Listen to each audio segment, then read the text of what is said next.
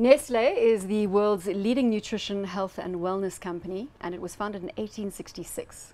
Exactly, that's a long time ago.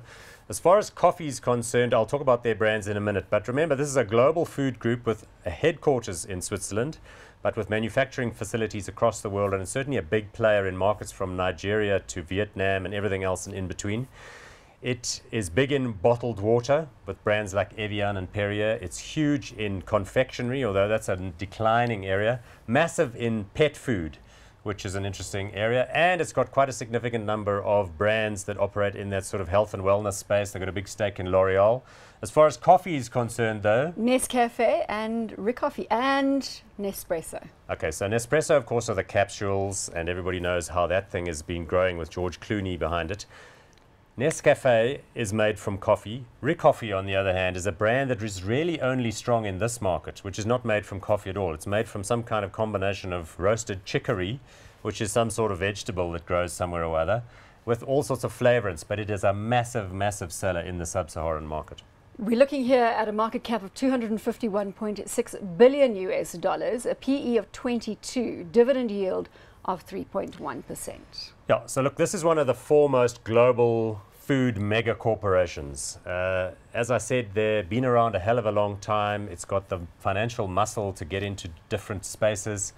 But I really do think the combination of coffee and bottled water is the future of the company. Okay, the pet food and all that stuff go back stay to in there the as well. performance there because the, the share price was up. Right, so let's see. This is in fact what we're looking at here is the share code NSRGY, which is where it trades on the New York market, and we own them for clients. I own some of these in my New York account, and you can see there it's done fine over the last five years. It's crept slowly upwards from around Slowly 40. being the operative word. Yeah. That, that's not anything that shot the lights Look, out. it's a little bit of a leviathan. At $250 billion, it's one of the world's largest companies. You know, Apple, we know, is much higher and at 700 uh, billion dollars. So it's kind of in that ballpark, though, much bigger than Billiton, much bigger than British America Tobacco.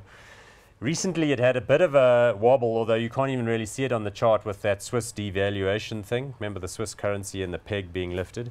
But it hasn't really had a good long term effect, which is as you'd expect, because it doesn't manufacture everything in Switzerland and then send it around the world. It, you know, here in South Africa, Well- all of that Ricoffy is made here. Coming back to the coffee theme, you mentioned the Ricoffy, this Nespresso. Do you think that that is transformational for the stock as an investment? Look, uh, not for everybody or everything. I think everybody understands that if you're talking about the home, uh, you can have an espresso machine and the capsules, which cost about seven and a bit rands each. You know, it's an expensive cup of coffee.